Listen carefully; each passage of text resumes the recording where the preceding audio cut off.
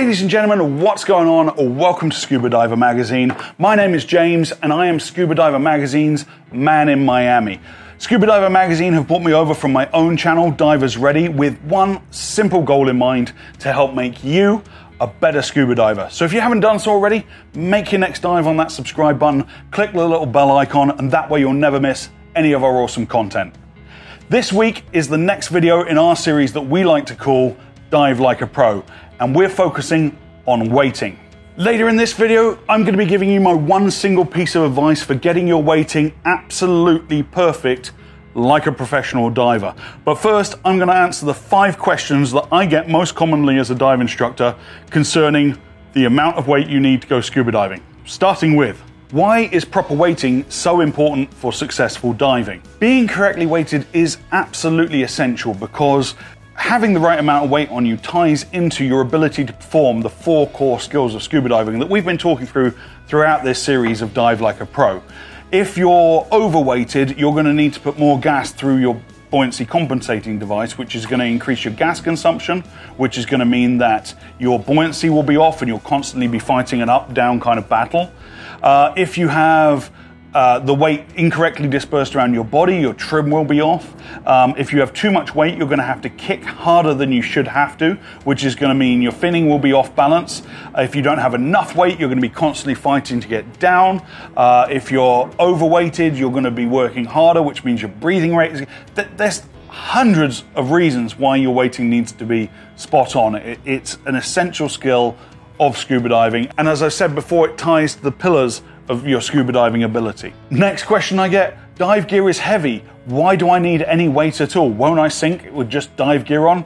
No, you won't, because Archimedes says you won't. Uh, in about 250 BC, the Greek mathematician Archimedes laid down the law for what is basically an essential principle for all scuba divers, and that is an object wholly or partially submerged in a liquid is buoyed up by a force equal to the weight of that liquid displaced. So, even though, yes, scuba diving gear is heavy, it's also bulky, and what we're focused on is not weight, but density. So if you have big bulky gear as heavy as it is, it's still going to displace a lot of water and that needs to be compensated against using something that is incredibly dense in terms of a lead block. And I hope none of you have ever thought about getting in the water without weight, but if you did, you'll notice it was very hard to go scuba diving. Even in bulky, heavy dive gear, uh, a normal human being cannot get themselves under the water without the assistance of lead. Scuba diving without lead is just expensive snorkeling. So we add enough weight to get us under the water and then add gas to our BCD to make sure that we're not knuckle dragging across the seabed. Next question I get asked all the time as a dive professional is how much weight do I need? Well, unfortunately, there's no easy answer or equation for this. I can't take your body weight and add the weight of your gear and divide by the first number you think of and come up with the right amount because a lot of it has to do with the composition of your body type. Add to that the different densities of the gear choices that we make, and it's not really a cut and dry answer. Still, the best way to figure out how much weight a diver needs is trial and error. It's to get in and do a weight check. More on weight checks a little bit later on, and refine it until you get the minimum amount of weight that you actually need. Personal buoyancy plays a big part in how much weight you need to go scuba diving. And the best study that was ever conducted on personal buoyancy was done actually by a swim coach from Georgia Tech called Fred Lanoue in the 1960s. And he published a book called Drown Proofing A New Technique for Surviving in the Water. Um, his concern was obviously keeping swimmers safe and buoyant. And he did probably the most expansive research on how floaty or sinky, buoyant, a human body actually is. Not in like a creepy uh, throwing corpses in a swimming pool kind of way.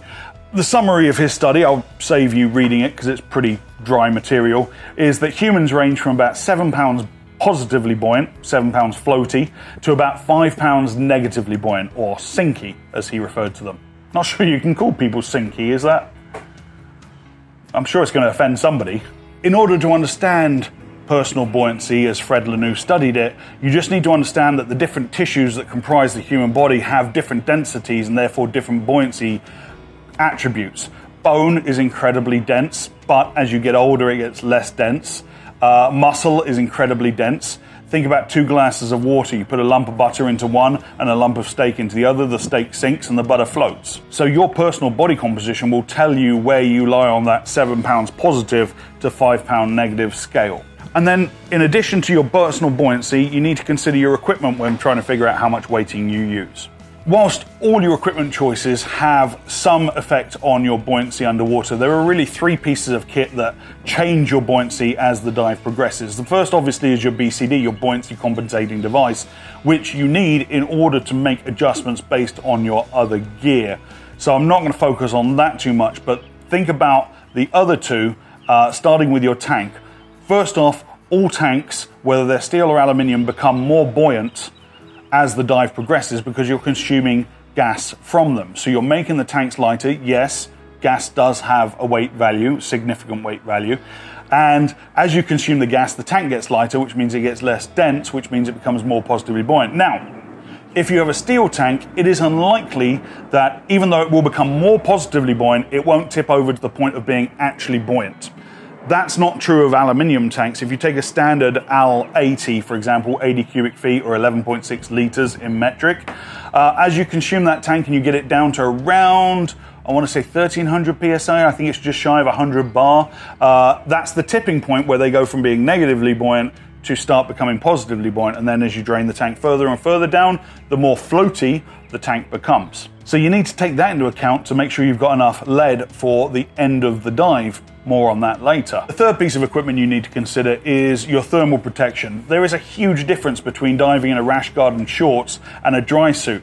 And the reason for that difference is displacement. A dry suit is a lot bulkier, it takes up more volume, it displaces more water, which means you need to add more lead to overcome that buoyant factor. Even a couple of millimeters difference in the thickness of wetsuits when spread over the area of your whole body is going to make a huge difference to the amount of water that you displace. But not only that, but wetsuit material changes its buoyancy characteristics throughout the dive. At the start of your dive on the surface, the wetsuit is at its maximum thickness. As you descend and ambient pressure increases, the neoprene that your wetsuit is made out of actually compresses, which means as you get deeper, your wetsuit becomes less buoyant. And then on ascent, the reverse happens. The pressure releases, the wetsuit expands, and you become more buoyant, which means your rate of ascent, if not controlled properly, will accelerate. And the third factor to consider after personal buoyancy in your equipment choices is the water type salt or fresh water. If you're going from fresh water to salt water, you will need to add lead because salt water is more dense, and vice versa going the other way. So, James, how do I conduct a weight check? Well, very easily, in five simple steps. Ready? Here we go.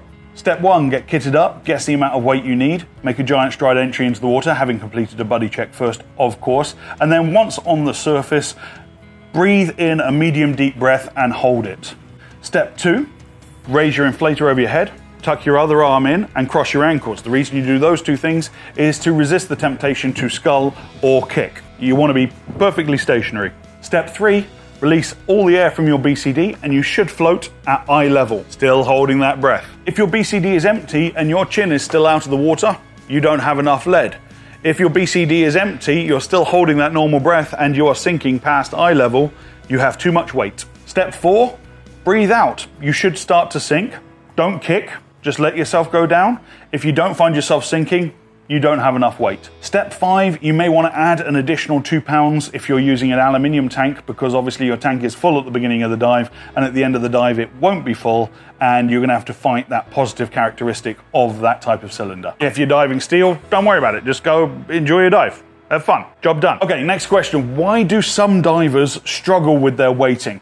It's true, I see this all the time on dive boats. I'll be minding my own business, kidding up, and the dive master will be going around the boat and asking how much weight people need. And I'll see somebody who's much smaller than me and is diving in just shorts and a rash guard and doesn't appear to be in any way bulky, diving nice small gear, and they'll ask for like 10 kilos or 22 pounds of lead. It's a common mistake to think you need more lead than you do, and as I said at the start of this video, that's just a really inefficient way to dive although this series is called Dive Like a Pro, it could possibly be a professional diver's fault that you think you need more weight than you do because some less reputable dive instructors out there, instead of taking the time to get their students right with their weighting as they're going through the open water course, will just sandbag them just laden them like a desert camel with as much weight as possible uh, because, well, it's kind of like walking a dog on a short leash, really. If you have the dog under control, you know where they're going to be. And the same thing with divers underwater. If you take your eye off a diver for a short while,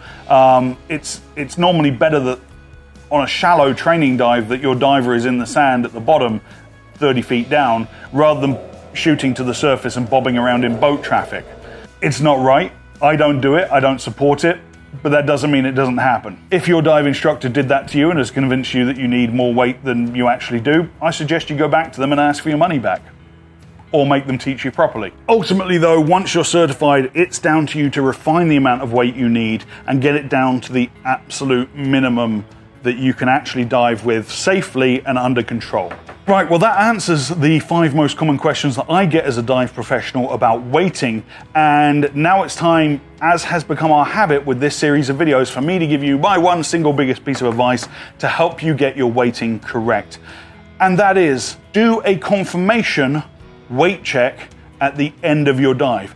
Think about the end of your dive. Your tank is the lightest, your wetsuit, if you're using one is going to be at its thickest. It's going to have re expanded after your dive, and you're going to be the lightest you're going to be at any point during that dive. So it's actually more important that you're correctly weighted when you're trying to hold that 5 meter, 15 foot safety stop and get your buoyancy really on point, that your weighting is correct then. You want to make sure that at the end of the dive, you're not shooting up to the surface and you're correctly weighted for your safety stop.